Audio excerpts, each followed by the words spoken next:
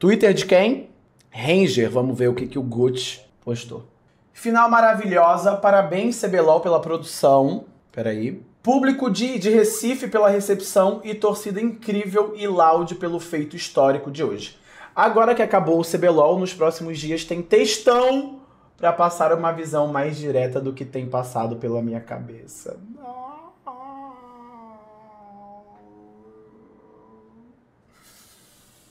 Assim, uma coisa é um fato, que eu acho que a comunidade de League of Legends pode ficar tranquila quanto ao Ranger nós não vamos perdê-lo para o Enem, nem para nada do tipo.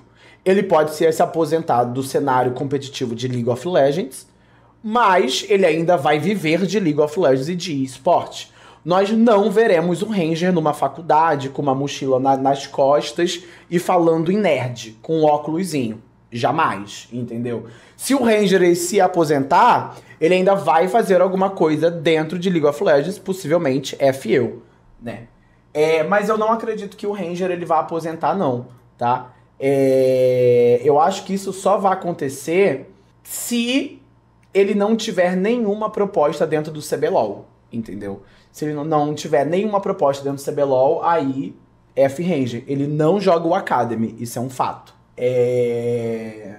Mas, mano, é que é foda, né, cara? Tipo assim, o Ranger, ele tinha feito isso, por exemplo, é uma das coisas que eu critiquei essa troca de posição dele e vocês também podem acompanhar lá no meu canal de corte, Minerva Corte. Dá uma exclamação cortes aí, pesquisa lá eu falando sobre o Ranger, sobre esse role swap dele e vocês vão vão ter a prova. O que acontece?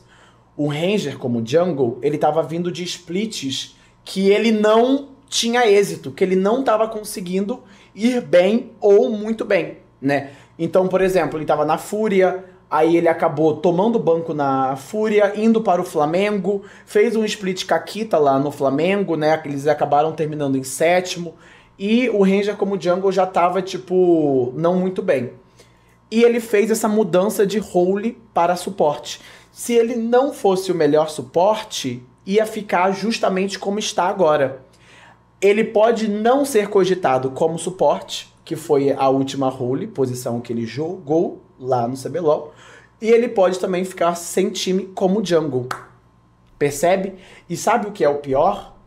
O último split dele como jungle, o primeiro split desse CBLOL, eu achei ele, por exemplo, um dos melhores dessa luz. E ele foi top 2, top 3 jungle do CBLOL. Ele jogou muito bem. As lanes dele estavam trollando e ele ainda assim fazia muito bem com o pouco que ele tinha principalmente o Lava e o Hirit ali numa reta final. E ele ainda estava conseguindo. Aí o que aconteceu? Ele acreditou nessa call, né, que o Stardust fez. Obviamente, Stardust não é 100% culpado. Ele mostrou a opção para o Ranger, então, quero colocar você como suporte. E o Ranger disse: "Beleza, eu topo". Então, a parcela de culpa é de ambos, mas eu não achei inteligente isso.